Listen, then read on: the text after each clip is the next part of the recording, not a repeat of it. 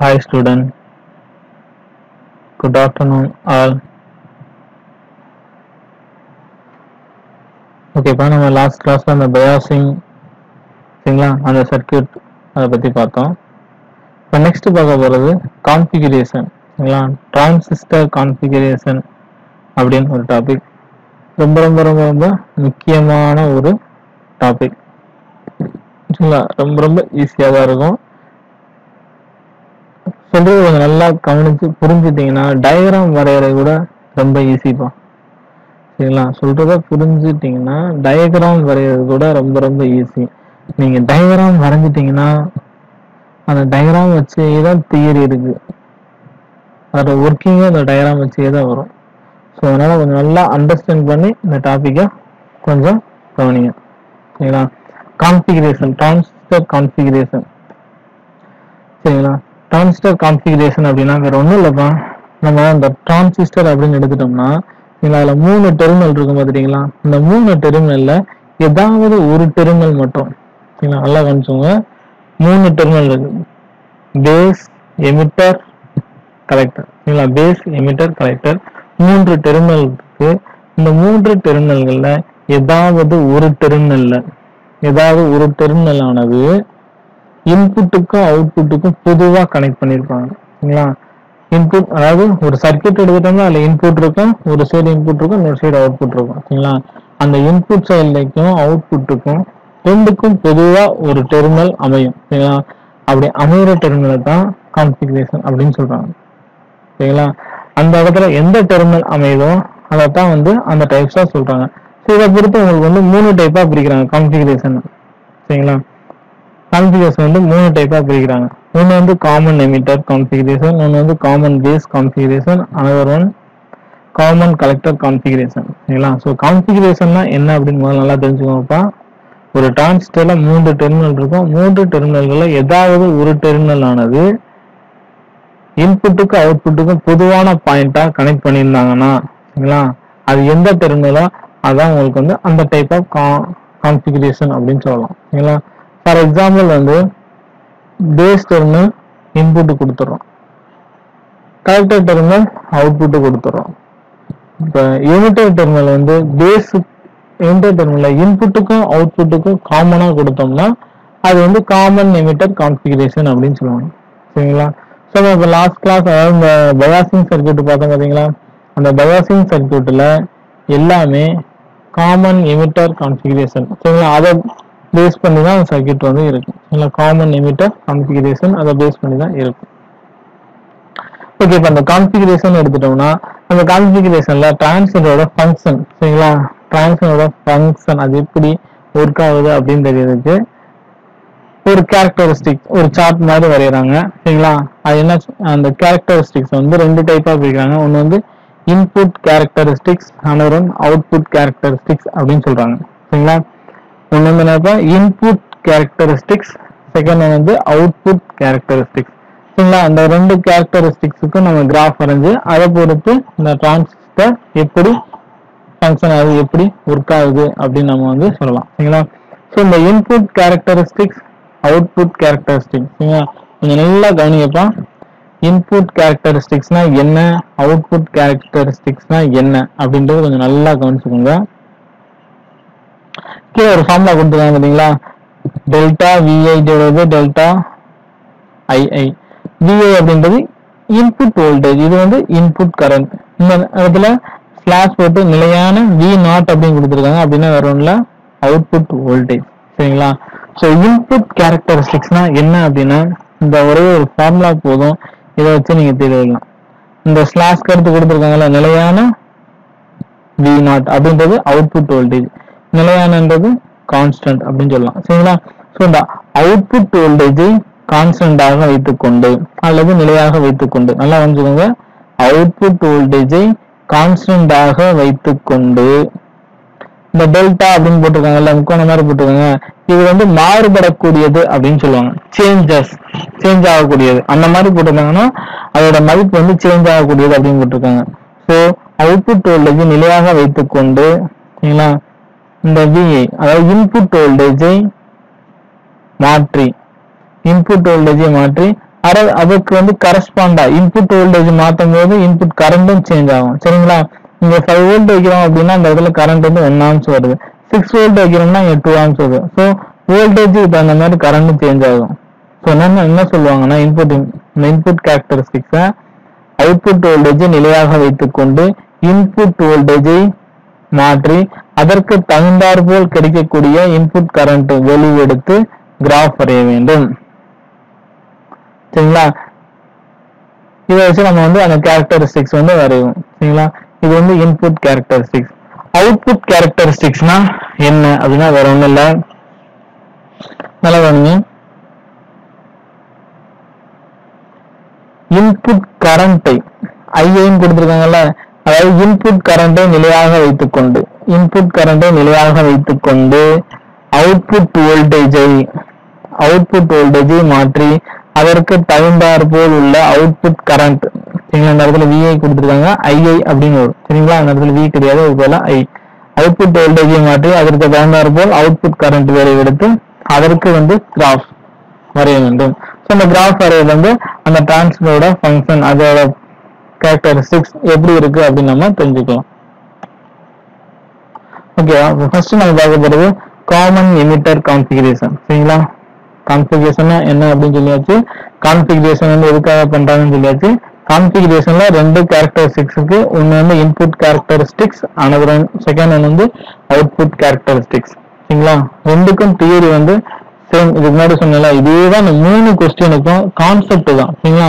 நல்லா வந்துங்க இந்த மூணு கொஸ்டினுக்குமே input characteristics output characteristics concept இதுதான். நீங்க இதை வச்சு தான் நீங்க வந்து தியரி எழுத போறீங்க.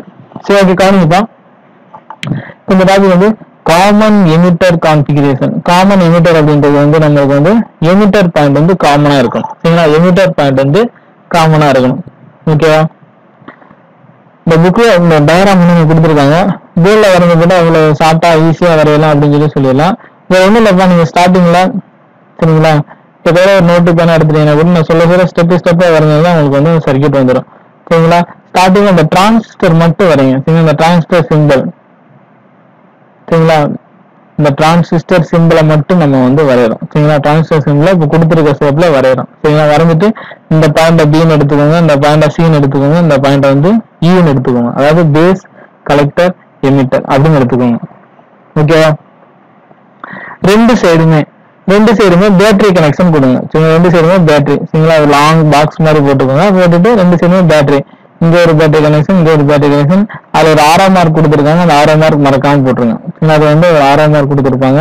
அதை மறக்காம போட்டுருங்க. சரிங்களா அந்த ஆறாம் மார்க் வந்து எதை குறிக்கும் அப்படின்னு பார்த்துட்டீங்கன்னா சரியாப்பா அந்த ஆறாம் மார்க் வந்து வேரியேஷன் அதாவது பேட்டரி வோல்டேஜ் நம்ம வந்து சேஞ்ச் பண்ணலாம் அப்படின்னு சொல்லி குறிக்கக்கூடியது. சரிங்களா? ஆறாம் மார்க் போட்டிருந்தா வேரியபிள் சரியா?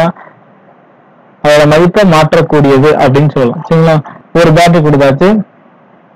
அதுக்கு அடுத்து சரிங்களா? அதுக்கு அடுத்து ஒரு லெஃப்ட் சைடில் ஒரு வோல்ட் மீட்டர் ஒரு அம்மீட்டர் ரைட் சைடில் ஒரு வோல்ட் மீட்டர் ஒரு அம்மீட்டர் சும்மா ரவுண்ட் மாதிரி போட்டு வச்சுக்கோங்க. சரிங்களா? வோல்ட் மீட்டர் அம்மீட்டர் போட்டு வச்சுக்கோங்க. இப்போ இந்த வோல்ட் மீட்டர் அம்மீட்டர் நார்மலா உங்களுக்கு வந்து வோல்ட் மீட்டர் ஒரு சர்க்கியூட்ல எப்படி இருக்கும்னா பேரலா இருக்கும். சரிங்களா? வோல்ட் மீட்டர் அதாவது நம்ம வோல்டேஜ் கண்டுபிடிக்கணும் அப்படின்னா ரெண்டு லைனுக்கு இடையில வச்சுதான் வோல்டேஜ் கண்டுபிடிக்க முடியும். சரிங்களா? ரெண்டு லைனுக்கு இடையில வச்சுதான் வோல்டேஜ் கண்டுபிடிக்க முடியும். சரிங்களா?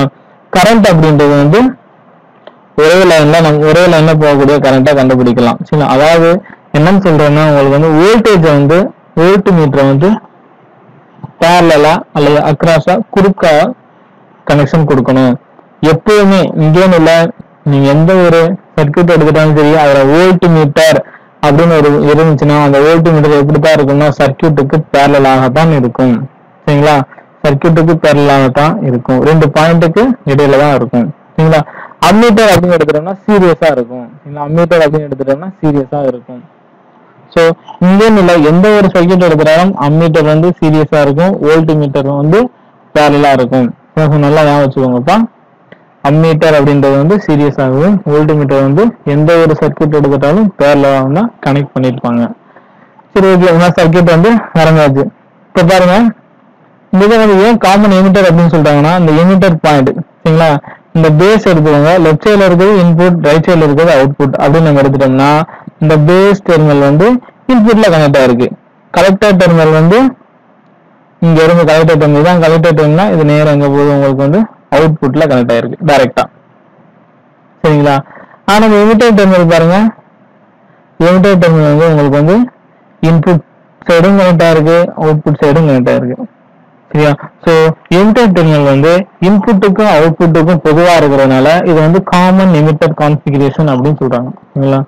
இது வந்து ஒரு பாயிண்டா நீங்க தேடி எழுத போறீங்க. நல்லா யோசிச்சுக்கோங்கப்பா இந்த எமிட்டர் டெர்மினல் வந்து இன்புட்டுக்கும் அவுட்புட்டுக்கும் பொதுவாக உள்ளதால் இதனை காமன் எமிட்டர் கான்ஃபிகரேஷன் அப்படின்னு சொல்றாங்க.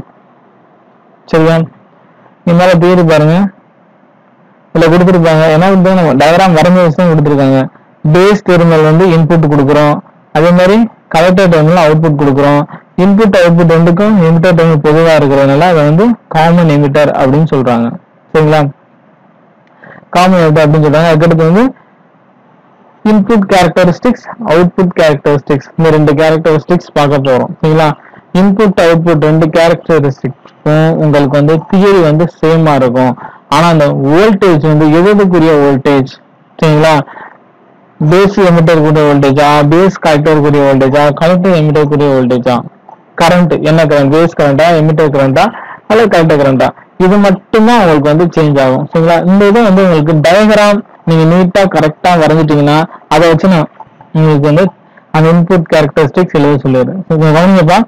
ஃபர்ஸ்ட் வந்து நம்ம இன்புட் கேரக்டரிஸ்டிக்ஸ் இது பார்க்க போறோம். சரிங்களா? இன்புட் கேரக்டரிஸ்டிக்ஸ் பார்க்க போறோம் அப்படின்னா இந்த அவுட்புட்ல இங்க கொடுத்துருக்காங்கல்ல வின்னு கொடுத்துருக்காங்க. கீழே வந்து உங்களுக்கு எழுத்து தெரியாம இருக்கு. வேற ஒண்ணும் இல்ல. விசிஇ சரிங்களா? விசிஇ அப்படின்னு வரும்ல இது வந்து வோல்டேஜ் எதோ இடையில இருக்க வோல்டேஜ்னா இந்த எமிட்டர் இந்த பாயிண்ட்டுக்கும் இங்க இருக்கு வந்து கலெக்டர் கலெக்டருக்கும் எமிட்டருக்கும் இடையில இருக்கக்கூடிய வோல்டேஜ் அதனாலதான் இதை வந்து விசிஇ அப்படின்னு சொல்றாங்க. சரிங்களா? வோல்டேஜ்னாலும் சரி கரண்ட்னாலும் சரி எந்த டெர்மினல்ல கொடுக்குறாங்களோ அதை பொறுத்து தான் வரும். சரிங்களா? அதை பொறுத்து அதை வந்து சஃபிக்ஸ்ல போட்டிருப்பாங்க. சஃபிக்ஸ்னா கீழே போட்டிருப்பாங்க. சரிங்களா? இது வந்து உங்களுக்கு எமிட்டர் டெர்மினல் ஸோ இதுல போகக்கூடிய கரண்ட் என்னது? எமிட்டர் கரண்ட் இது வந்து உங்களுக்கு வந்து கலெக்டர் டெர்மினல் ஸோ இதுல போகக்கூடிய கரண்ட் வந்து கலெக்டர் கரண்ட் இந்த கொடுத்துருக்காங்களா ஐசி அப்படின்னு கொடுத்துருக்காங்க. இது வந்து பேஸ் டெர்மினல் இந்த இடத்துல வந்து கொடுத்துருப்பாங்க ஐபின்னு கொடுத்துருப்பாங்க. அப்படின்னா பேஸ் கரண்ட் இங்க வந்து வீன் வோல்டேஜ் வந்து வீன் போட்டாச்சு. என்னென்ன பாயிண்ட் இடையில வோல்டேஜ் கனெக்ஷன் கொடுத்துருக்காங்க? இந்த பேஸுக்கும் இந்த எமிட்டருக்கும் இடையில கனெக்ஷன் கொடுத்துருக்காங்க. ஸோ அதனால பேஸ் எமிட்டர் வோல்டேஜ் ஓகேவா இதை வச்சு நம்ம அந்த குறியீடு வந்து நம்ம வந்து போட போறோம். ஸோ கொஞ்சம் நல்லா பார்த்துக்கோங்க. அந்த டெர்மினல்ஸ் வந்து நல்லா தெரிஞ்சுன்னா இதை வந்து நீங்க ஈஸியா போட்டுடலாம். தீரியும் ஈஸியா எடுத்துடலாம். சரி ஓகே கவனிப்பா இன்புட் கேரக்டரிஸ்டிக்ஸ் அப்படின்னு எடுத்துட்டோம்னா இந்த அவுட்புட் வோல்டேஜ் வந்து கான்ஸ்டன்ட் ஆக்க போறோம். இந்த இடத்துல அவுட்புட் வோல்டேஜ் என்ன வோல்டேஜ்னா கலெக்டர் எமிட்டர் வோல்டேஜ் சரிங்களா? கலெக்டர் எமிட்டர் வோல்டேஜை நிலையாக வைத்துக்கொண்டு இதை வந்து கான்ஸ்டன்ட் ஆக்கிறோம் இதை சேஞ்ச் பண்ணி கான்ஸ்டன்ட் ஆகும்னா இந்த பேட்டரி சரிங்களா? அந்த பேட்டரி வோல்டேஜ் இதை நம்ம வேரி பண்ணி இங்க வோல்டேஜ் வந்து கான்ஸ்டன்ட் ஆகிறோம் ஃபார் எக்ஸாம்பிள் ஃபைவ் வோல்ட் வைக்கிறோம்னு சொல்லுவாங்க. ஃபைவ் வோல்ட் இதை வேரி பண்ணி இந்த வோல்ட் மீட்டர்ல ஃபைவ் வோல்ட் வர மாதிரி நம்ம வந்து வேரி பண்ணி வச்சிடறோம். வேரி பண்ணி வச்சாச்சு. சரிங்களா? அது வந்து கான்ஸ்டன்டா இருக்கு. அதை வச்சதுக்கு அப்புறம் என்ன பண்றோம்னா இந்த ரைட் லெஃப்ட் சைட்ல இந்த voltage base emitter voltage base emitter voltage change பண்றோம். சரிங்களா? சேஞ்ச் பண்ணா எப்படி சேஞ்ச் பண்ணுவோம்? இந்த இருக்கு இல்லைங்களா? இந்த பேட்டரி இந்த பேட்டரியை நம்ம வந்து சேஞ்ச் பண்றோம் வேரி பண்றோம். வேரி பண்றோம் ஸ்டார்டிங்ல ஜீரோ இருக்கும். ஜீரோல இருந்து கொஞ்சம் கொஞ்சமா இன்க்ரீஸ் பண்றோம். ஒரு வோல்டேஜ் வைக்கிறோம். இங்க கரண்ட் என்ன இருக்குன்னு பார்க்க போறோம். ரெண்டு வோல்டேஜ் வைக்கிறோம். நீங்க கரண்ட் என்ன இருக்குன்னு பார்க்க போறோம். மூணு வோல்டேஜ் வைக்கிறோம். இதே மாதிரி அஞ்சாறு ரீடிங் எடுக்கிறோம். அது அப்படியே நீங்க தீர எழுத போறீங்க. சரிங்களா? அதைத்தான் வந்து அப்படியே நீங்க வந்து தீர எழுத போறீங்க. இதெல்லாம் அதுக்கு ரீடிங்லாம் எடுத்ததுக்கு அப்புறம் என்ன பண்ண போறோம்?